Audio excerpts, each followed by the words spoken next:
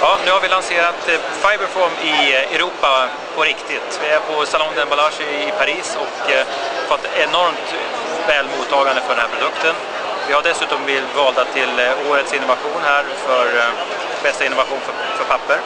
Eh, Coupe de Coeur, som det heter och vi är väldigt hedrade över detta. Enormt eh, intresse från mycket slutanvändare och brand owners eh, om ett helt nytt material, Fiberform. Eh, Armin, Fiberform, du kan berätta lite kort vad det innebär. Absolut. Fiberform är alltså ett eh, högt töjbart papper med eh, väldigt hög eh, töjning som eh, är upp till en 20 procent.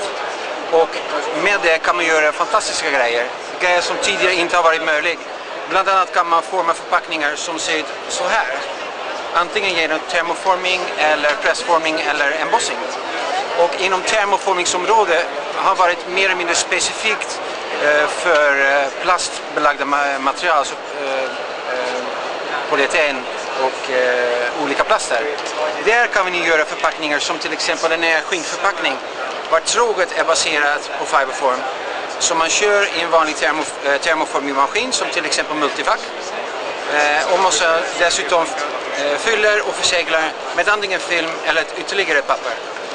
Och det här kan man inte göra med något annat pappersmaterial överhuvudtaget eftersom det kommer att spricka. Så den tredimensionella möjligheten med det här materialet är obegränsade skulle jag vilja säga. Bakom oss ser vi ett antal eh, produkter som till exempel den här lådan där man kan prägla själva kartongförpackningen väldigt djupt. Mycket djupare än vad man kan göra med kartong som är då ett annat område. Eh, vi jobbar mycket med även eh, kostnadsbesparande lösningar, eh, till exempel inom kaffekopp eller koppområde, var bandrollerna är gjorda av Fiberform, så installations, som installationsmaterial. Ehm, ja, vad ska jag säga mer? Jag kan ta över här då. Jag kan säga. Och det här är ju fantastiskt, för vi, precis som Armin säger, vi flyttar ju papper in till en tredimensionell nivå.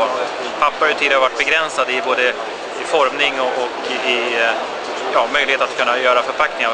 Helt plötsligt kan vi nu göra en helt annan form eh, utav papper. Och det här öppnar upp enorma möjligheter inom det här området. Eh, både för dryckesförpackningar för andra förpackningar. Och, eh, jag tror att det här kommer att kunna bli en Gore-Tex, en, en, en eh, lösning för framtiden som är riktigt, riktigt intressant. Och eh, jag hoppas att Billerud nu sätter papper riktigt på kartan och visar att vi är på gång och att världens mater bästa material faktiskt fin kommer från papper som är förnyelsebart, komposterbart och kommer från en oändlig resurs, nämligen pappret och skogen. Har ni några kunder än? Det har vi absolut. Och vi kör nu den här produkten regelbundet varje månad. Kunder som eh, Marks Spencer, Tesco, Waitrose, eh, Sainsbury's, Fleurs Merchon, Madrange här i, i Frankrike. Så att, eh, det adderar bara på nu och eh, även Hota Hutamäki använder då det här som isolering för koppar. Så att det har gått ifrån att vara ett projekt till att nu vara en, en produkt som finns på marknaden att köpa. Och eh, nu kommer utmaningen självklart att se till så att alla som vill ha det här materialet kan få det på ett bra sätt. Eh, jag vill bara säga att här, den här produkten är en nisch. Och det är en av möjligheterna som har varit väldigt nära till hands för oss. Däremot tror jag starkt på olika, eh, antingen clamshell-lösningar eh, eller tråg och blisterlösningar för andra typer av eh, matvaror eller även eh, vanliga konsum consumer eh, goods. Det ehm, eh, kan vara inom elektronik, inom eh, personal healthcare, eh, det finns många områden och vi kommer eh, säkert att se under 2011 en del lanseringar ute på marknaden.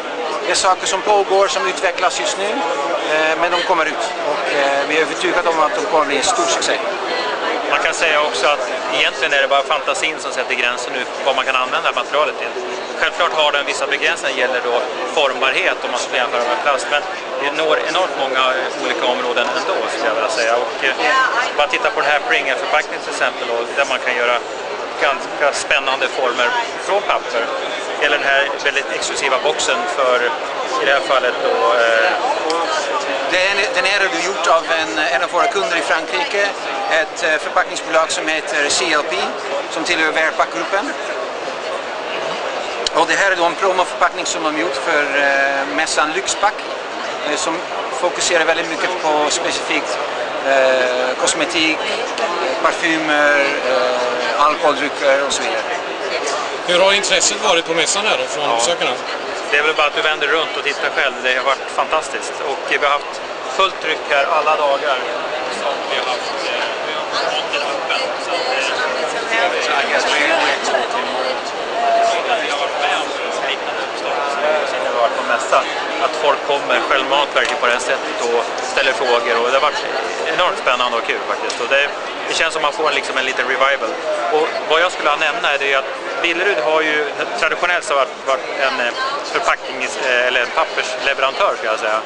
Och eh, vi har nu genom att förflytta oss i värdekedjan börjat diskutera med slutkunder, retailers, förpackningstillverkare om då möjligheter att kunna nyttja det här materialet. Och det har gjort också då att intresset har ökat enormt för papper som sådant men också självklart för det här materialet.